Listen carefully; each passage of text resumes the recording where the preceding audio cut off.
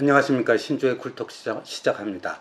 지금 윤미향 의원에 대한 수사가 아주 어, 빠른 속도로 진행되고 있습니다. 서울 서부지검 형사 4부 최지석 부장검사팀이요 주말도 반납한 채 지금 수사에 굉장히 막 속도를 올리고 있습니다. 6월 5일 지금 뭐 민주당의 김태년 원내대표가요 아, 미래통합당의 동의가 없다 할지라도 합의가 이루어지지 않는다 할지라도 6월 5일에는 임시회를 개회를 하겠다 했는데 일단 회기가 시작되면 의원 소환하기가 만만치가 않습니다. 그 전에 윤미향이 소환될지 여부가 아, 관심이 모아지고 있는데요. 그런데 지금 서부지검에서 윤미향을 수사하고 있는 거는요. 크게 보면 세 가지라고 보면 됩니다.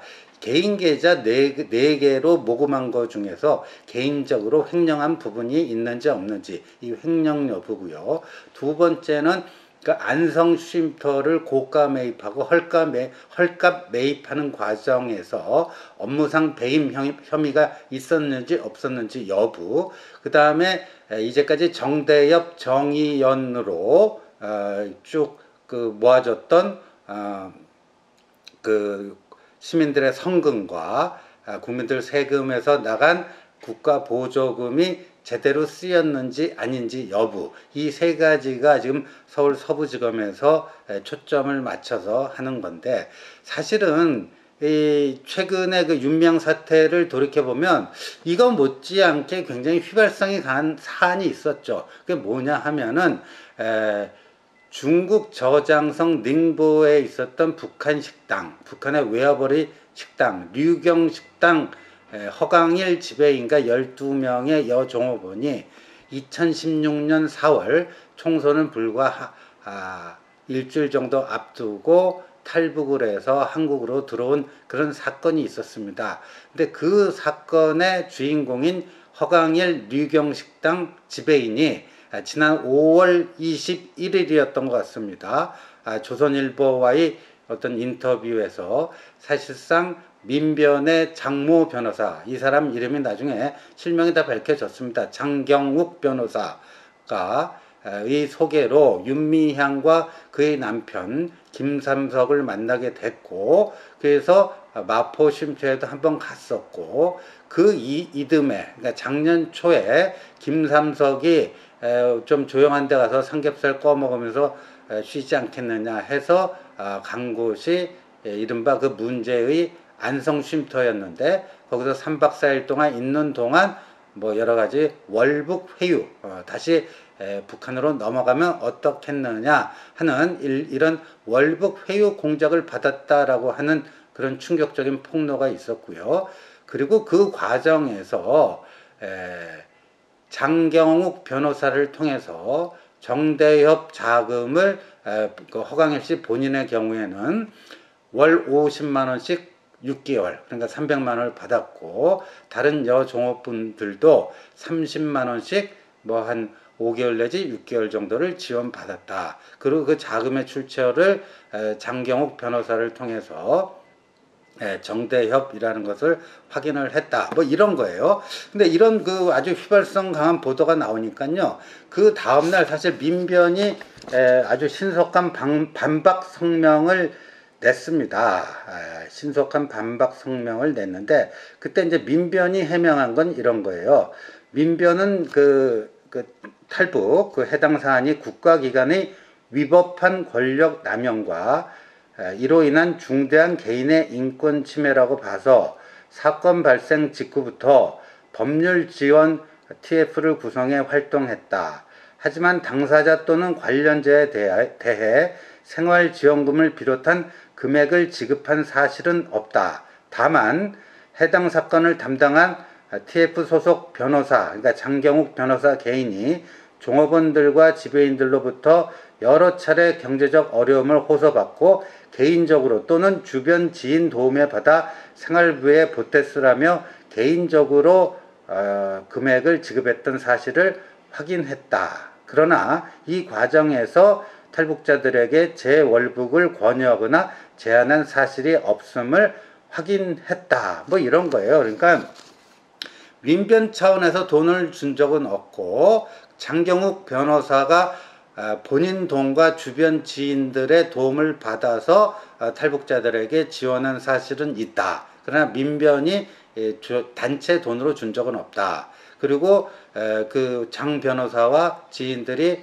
개인적으로 도와줬지만 그 도와주면서 다시 재월북 어, 북한으로 다시 월북하는 것을 회유하거나 아, 권유한 적은 없다. 뭐 이런 겁니다. 그러니까 조선일보 기사가 한마디로 그 허강일 씨의 허위 주장에 기초한 뭐 엉터리 기사다. 그런 얘기였습니다.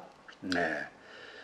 그런데 그런데 이 윤미향 이제 작년 아 이게 지난 금요일 윤미향 당선자 신분 마지막 날에 당선자 신분 마지막 날에 23분 동안 땀을 뻘뻘 흘리면서 아, 그 자기 자신의 기자회견문을 읽어 나갔는데 그중 크게 보면 여덟 가지에 대해서 다 아니다 아니다 아니다 아니다를 여덟 번 했는데 그중 한그 그중 여덟 가지 중에 하나가 이 월북 회유입니다. 그 월북 회유에 대해서 그 당시 윤미향이 이렇게 얘기했습니다. 2018년 11월 남편과 장경욱 변호사는 저와, 저와 정대협 측에 탈북 종업원들이 할머니들을 만나는 것 자체만으로도 큰 힘이 될 것이라며 만남을 제안하였고 이를 마포 쉼터에 사시는 기로녹 할머니께 전달했더니 할머니께서 흔쾌히 수락하셨다. 그래서 2018년 11월 17일 마포 쉼터에서 쉼터에 류경식당 탈북 종업원들을 초대해 활동가들이 직접 지은 음식으로 저녁 식사와 함께 담소를 나누었다.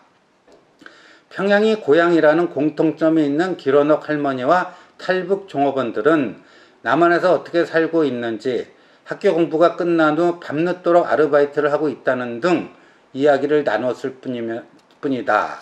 그래서 이 과정에서 다른 건 없었다 하면서 아, 예, 예, 윤명이 이렇게 얘기했죠. 결론적으로 제가 류경식당 탈북 종업원들에게 월북을 권유하거나 동조하였다는 의혹에 대해 말씀드린다 하면서 저와 정대협이 탈북 종업원들에게 금전을 지원했다. 월북을 권유했다는 등 일부 언론 보도는 모두 사실이 아닌 허위임을 이 자리에서 다시 한번 분명하게 밝힌다. 이렇게 얘기를 했습니다. 그러니까 조선일보 기사가 완전히 허위 사실이다. 아, 가짜 뉴스다. 아, 이렇게 얘기를 했는데, 그러니까 정대협 돈을 준 적도 없고, 어, 월북을 회유한 적도 없다. 돈, 돈을 준 적도 없고, 월북을 회유한 적도 없다. 아, 만난 거는 맞다. 뭐 이런 얘기입니다. 아, 그런데, 이제 이제부터 한번 따져봐야 돼요. 아, 근데, 윤미향, 그, 지난 금요일 날, 에, 그, 자신의 결백을 일방적으로 주장하는 기자회견이 있고 난 직후에 이 허강일 씨는 에, 지금 제3국의 망명 중인데 조선일보가 이 허강일 씨와 제3국의 망명에 있는 허강일 씨와 SNS로 인터뷰를 가졌습니다. 그런데 거기서 허강일 씨가 이렇게 에, 윤미향 그 기자회견에 대해서 이렇게 평가를 했습니다. 거짓말을 밥 먹듯 하는 사기꾼들이 자기 스스로를 간첩이라고 하겠나? 나는 간첩이다 라고 말하는 간첩을 본 적이 있느냐? 하면서 제가 류경식당 탈북 종업원들에게 에, 그 탈북을 권유했거나 뭐 이런 그 사실이 없다. 금전을 지원한 사실이 없다. 이렇게 얘기한 거는 다 아, 거짓말이다. 윤미향은 완전히 거짓말이다. 아, 이렇게 얘기를 했습니다. 아, 그러면서 이런 사람들 때문에 김정은 수명만 길어지고 있다. 에, 한국에서 이런 사람들과 상대할 때마다 내가 왜 한국에 왔는지 이상하게 느껴졌다. 뭐 이런 내용입니다. 근데 이 여기서 그 당시에 이제 처음에 이걸 폭로할 때 허강일 씨가 그냥 자신의 일방적인 주장만 전달한 게 아니고 구체적인 물증을 몇 가지를 내놨습니다. 에, 그 윤미향의 남편 김삼석 씨와 주고받은 문자 메시지, 그다음에 민변의 장경욱 변호사와 또 주고받은 문자 메시지, 예, 그다음에 그 안성 쉼터에 자신과 그 탈북 그 유, 유경 식당 탈북 여종업원 12명 중에 3명이 같이 갔었는데 그 3명의 여종업원들이 안, 안성 쉼터에서 찍은 사진 뭐 그다음에 또그 송금 송금 받은 내역 이런 것들을 물증으로 제시를 했습니다. 했는데 했는데 여기에 대해서 지금 그 민병과 윤미향 정대협 또 그 윤미향의 남편 남편 김삼석은 뭐라고 해명하냐면은 이 김삼석 개인 돈이었다. 아, 이렇게 지금 해명을 하고 있습니다. 김삼석 개인 돈이었다. 예, 개인 돈이었다. 그래서 이게 이제 그 장경욱 민변 장경욱 변호사가 이제 허강일 씨를 비롯해서 탈북 그 여종업원들에게 총 보내준 돈이 820만 원, 820만 원. 그 중에 300만 원은 허강일 씨입니다. 아, 허강일 씨에게 보내줬고 나머지 520만 원을 다른 여 종업원들에게 보내줬다. 뭐 이런 식으로 이제 한겨레에서 장경욱 변호사의 통장 거래 내역을 입수해서 이렇게 주장하고 있는데 그런데 총액 820만 원 중에서 윤명의 남편 김삼석과 또 다른 활동가 도 아무개 씨로 각각 100만 원과 150만 원을 지원받았다. 그러니까 윤명의 남편 김삼석이 탈북자들 주라고 민변 장경욱 변호사에게 100만 원을 건넨 거는 민변 장 변호사 말로 말을 통해서도 확인되고 있습니다. 그런데 이 돈이 정대협 돈은 아니다. 김삼석 개인 돈이다. 이렇게 주장하고 있는 것이죠. 음. 그런데 그러면 이 사건은 아, 어떻게 되는가? 지금 서부지검에서는요, 주로 뭐 개인 계좌 모금, 음, 모금과 관련된 그 회계 부정, 뭐 여기에 대해서 초점을 맞춰서 아, 지금 수사를 하고 있는데, 그럼 이 월북 회유 사건에 대해서는 어떻게 되는가? 이게요, 서울중앙지검 공공수사 일부에 배당이 됐습니다. 예. 서울중앙지검, 그러니까 서울 서부지검은 회계 부정 사건이고요. 이 월북 회유 사건은요, 별도 서울중앙지검 공공수사 일부 양동은 부장 거기에 배당이 됐습니다. 그래서 그 팀에서 이 수사에 착수를 했고요. 이거는 한 시민단체 자유대한호국단이라고 한 시민단체가 지난달 말에 에, 윤미향과 김삼석, 윤미향, 김삼석, 그 다음에 민변, 장경욱 이 세 사람을 에, 세 사람을 국가보안법 위반 혐의로 고발을 했습니다. 국가 보안법 위반 혐의로 고발을 했는데 국가보안법상에 보면요 탈출 교사죄 이런 게 있습니다. 탈출 교사죄. 예. 그래서 그 국가보안법 제6조 잠입 탈출 제8조 회합통신 예. 형법 제31조 교사범 그래서 에, 이게 탈출을 탈출을 월북을 교사했다 하면 이게 국가보안법과 형법 위반이 될 소지가 있습니다. 그래서 이 국가보안법과 형법 위반 소지를 지금 서울 서부지검이 이제 회계부정을 수사하고 있는데 그것과는 별도로 중앙지검 공공수사 일부에 이게 배당이 됐다라는 거고요.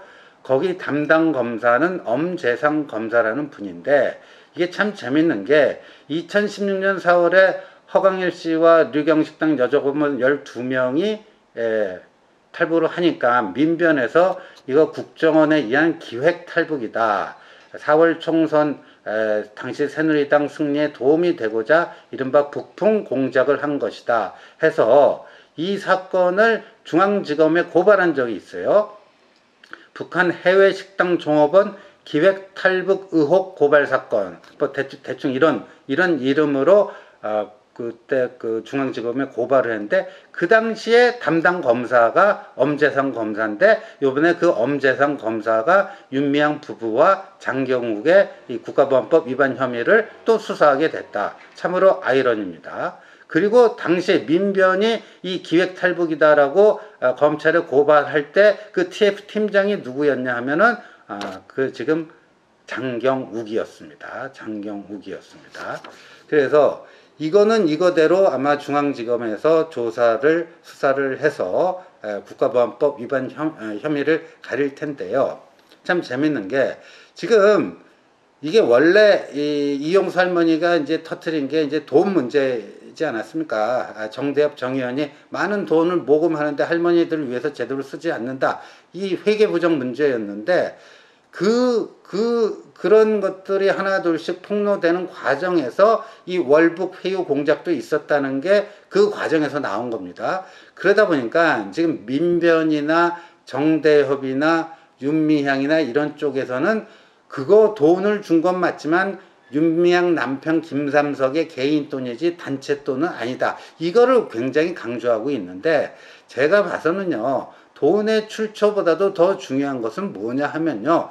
실제로 이들 탈북자들에게 월북을 회유했는가, 권유했는가, 제안했는가 이 여부입니다. 근데 허강일 씨가 지난번 증언한 바에 의하면요. 굉장히 생생하게 증언하고 있습니다. 안성 쉼터에서 3박 4일 지내는 동안에 수령님, 장군님 이런 말들을 아주 일상적 용어처럼 편안하게 에, 윤미향 남편 김삼석과 거기에 와 있던 뭐 그 양심수 후원의 회원들 이런 사람들이 자연스럽게 구사를 하면서 북한 담배라든가 부, 북한 물건 이런 것도 어, 한번 이용해 보라고 권유를 했고 북한의 혁명 가요를 부르기도 했고 뭐 등등 여러 가지 것들이 있습니다. 그래서 에, 돈의 출처보다도 어, 돈의 출처보다도 이제 돈이 오고 간 거 액수는 대충 뭐 이거는 누구든지 속일 수가 없어요. 다만 이게 정대협 돈에서 나온 건지 아니면 그야말로 김삼석 그 호주머니 주머니 에, 그런 개인 돈인지 근데 이거는 그렇게 본질적인 문제는 아니다. 월북 회유를 했는가 여부다. 그런 점에서 이게 굉장히 에, 이 어찌 보면은 회계 부정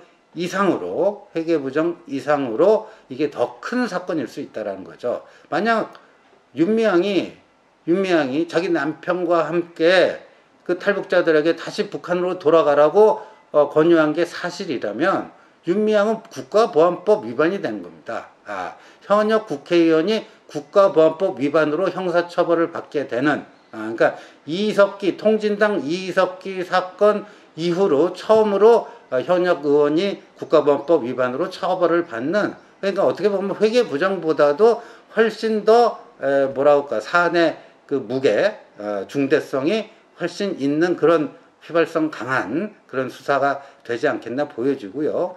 그래서 아마도 그 안성 쉼터에 갔을 때 같이 따라갔던 유경식당 여자공원 세 명 그 사진도 있습니다. 얼굴은 가렸지만 그 에, 사진이 있는데 아마도 이제 이 에, 엄재상 검사팀에서 그 세 명을 어, 소환 조사하면서 어, 그때 쉼터에 가서 무슨 일이 있었는지 이런 것들을 집중적으로 캐묻지 않겠는가. 경우에 따라서는 제3국의 망명에 있는 허강일 씨가 임시 귀국해서 아마 아, 뭐 검찰에서 장경욱 또는 김삼석하고 대질 신문할 가능성도 완전히 배제할 수는 없습니다. 그래서 이 월북 회유 국가보안법 위반 사건이 회계부정 사건보다도 훨씬 더 심각한 사안이고 서울중앙지검에서 지금 수사에 착수한 게 확인됐다. 여기까지 말씀드립니다. 감사합니다.